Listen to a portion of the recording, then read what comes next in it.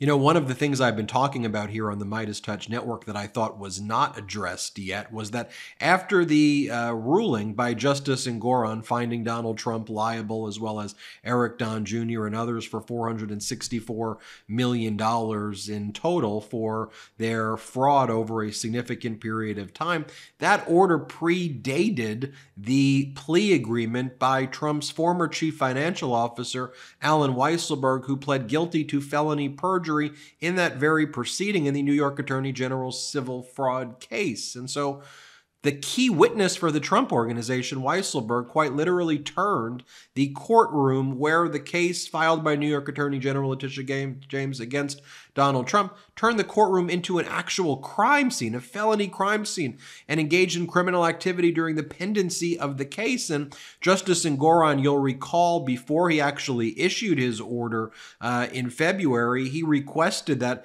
Alina Habba and others in, in the Trump representing the Trump organization provide him with knowledge about potential plea negotiations because it was reported in the New York Times that um, Weisselberg had been negotiating a plea deal and they refused to provide answers. They attacked Justice Engoron. So when Engoron issued his 92 page order, the order itself did not include anything about the fact that the main witness was a felon. And by the way, what we knew he was a felon prior because in the tax fraud case, he pled guilty to fraud, but a felon related to this specific case. And by the way, that was one of the things that frustrated me so much about what the appellate division did when they reduced Donald Trump's bond obligation from 464 million to 175 million, which Donald Trump is still apparently incapable of uh, making a deal with a surety who can actually be valid and licensed in New York and post a valid surety. But it was like, okay, the appellate division, you're giving Donald Trump the benefit of the doubt. You're giving him an inch so he could basically take your life. But the only data that's occurred since the trial concluded and the order happened was that the key witness for the Trump organization, Weisselberg, pled guilty to a felony of perjury in this case. Like, why would you listen to anything they write when their key witness committed a felony perjury, uh, committed perjury and a felony in the case and admitted to it? I mean, just think about that. Well, now finally, New York Attorney General Letitia James is taking one of the kind of, I think, first steps here um, and requesting that Justice Engoron modify his order in light of what Allen what's transpired with Weisselberg's guilty plea. And specifically, what New York Attorney General Letitia James did in sending this letter to uh, Justice Engoron was that she requested that he do two things with his order as it relates to the independent monitor. First and foremost, that he um, give the independent monitor more teeth in the way she can communicate um, with the New York Attorney General's office and the parties in general on an ex parte basis, allow her to report kind of right away if she uncovers some fraud or misconduct. So add teeth to the order from a reporting standpoint, not just with the quarterly reports that she files. But the other thing that New York Attorney General Letitia James is requesting, and this could be the precursor not just to something civil, but to some other criminal investigation against the Trump organization, is requesting that the independent monitor, remember her name? It's a retired federal judge, test you. Barbara Jones, good good memory if you got it right. Otherwise, you can pretend that you got it right. Um, retired federal judge Barbara Jones was a retired was was a federal judge in the Southern District of New York, one of the most well respected judges. Um, she has been the in, the independent monitor since uh, in November 2022 injunction by Justice uh, Engoron based on the ongoing and persistent fraud, systematic fraud by the Trump organization. She's allowed to. Um, she's been given additional powers in the 92 page order where Trump was found liable for the 464 million dollars to have more thorough investigations. But um, here, New York Attorney General Letitia James is saying add to that a directive that this independent monitor specifically investigate if the Trump organization was covering up for Weisselberg's criminal conduct. They did not produce these records during discovery. Habba didn't, and uh, the other lawyers representing Kise, they never turned over these records that um, were uncovered during the proceeding themselves. So, um, given that there was a crime that was committed, order the independent monitor to gain access to all of their emails and to basically search the emails and ultimately determine if the Trump organization was involved in a criminal or civil cover up for Allen Weisselberg, who's pled guilty to felony perjury.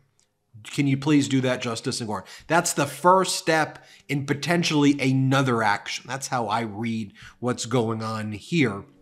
And New York Attorney General Letitia James is not letting up, which I like. I mean, you know, Justice Engoron still has jurisdiction over this matter. So you remember on the other issue where I did another video on it, did a few videos on it regarding the bond Trump used his buddy Don Hankey from uh, Knight Specialty Insurance, which didn't have the appropriate reserves to even be allowed to post sureties in the state of New York. It's being argued by New York Attorney General Letitia James, who filed an exception, which is like another way of saying an objection to the surety posted. So New York Attorney New York Attorney General Letitia James is like, no, we're doing a hearing right now. We're we don't accept this surety. Set a hearing, Justice Engoron. Boom, Justice Engoron set a hearing for April 22nd. Here, same day, New York Attorney General Letitia James says the following in this letter Dear Justice Engoron, on behalf of the Office of Attorney General, we write regarding the monitorship order entered March 21st, 2024. Specifically, we write to ask for two modifications to the monitorship order. First, we ask that the monitorship order be amended to explicitly authorize the monitor to share information ex parte with any party. And second, we ask that the monitor be directed to investigate certain issues surrounding the recent perjury plea by defendant Allen Weisselberg. Boom. On the first issue, explicit authorization to share information on an ex parte basis, just like on our own without like a formal court hearing. This would merely conform the post trial monitorship order to the pre-trial supplemental monitorship order entered on November 17, 2023. That earlier order provided that the quote monitor is authorized to engage in ex parte communications with the court and any party. While the monitorship order does not preclude such communications, we believe that out of an abundance of caution, the provision should be added. As to the second issue, on March 4th, 2024, Allen Weisselberg pleaded guilty to two counts of perjury in the first degree for false statements made during sworn depositions given before the Office of Attorney General in the investigation that preceded this very action. In addition, as part of the plea agreement with the Manhattan District Attorney's Office, Mr. Weisselberg also admitted to false statements made on October 10th, 2023, during the trial held in this matter. A copy of the Superior Court's information is attached This tab A. Among the evidence cited as proof that Mr. Weisselberg lied when he testified at trial, the criminal court complaint identifies an August 18, 2016 email between Mr. Weisselberg and a Trump Organization employee with the Trump Tower Declaration confirming the size of the Trump triplex apartment. And it goes on to show that portion. On August 18, 2016, just two days after the August 2016 Forbes email to Weisselberg questioning the triplex's size, Trump employee number two emailed Weisselberg the triplex First Amendment, which detailed its size at 10,996 square feet, and the Trump Tower Declaration Schedule B. Mr. Weisselberg then asked another employee to verify the information. On or about August 18, 2016, Trump employee number three, a subordinate of Weisselberg, was asked to review the triplex First Amendment and Trump Tower Declaration, Schedule B, and to perform calculations to verify the accuracy of the information contained in the triplex First Amendment as related to the size of Trump's triplex. Oh, Mr. Trump's triplex. OAG has undertaken review of the files produced by defendants by Trump and the Trump organization in this investigation and has not been able to identify the reference communication. There's a footnote. In addition, paragraph 11 of the criminal court complaint refers to a March 3, 2016 email between Mr. Weisselberg and a managing director at Trump International Realty regarding the triplex. It also appears that the email with Mr. Weisselberg's response was not produced through a partial copy of a thread that was scanned by Jeffrey McConney and saved as a backup for the statement of financial condition.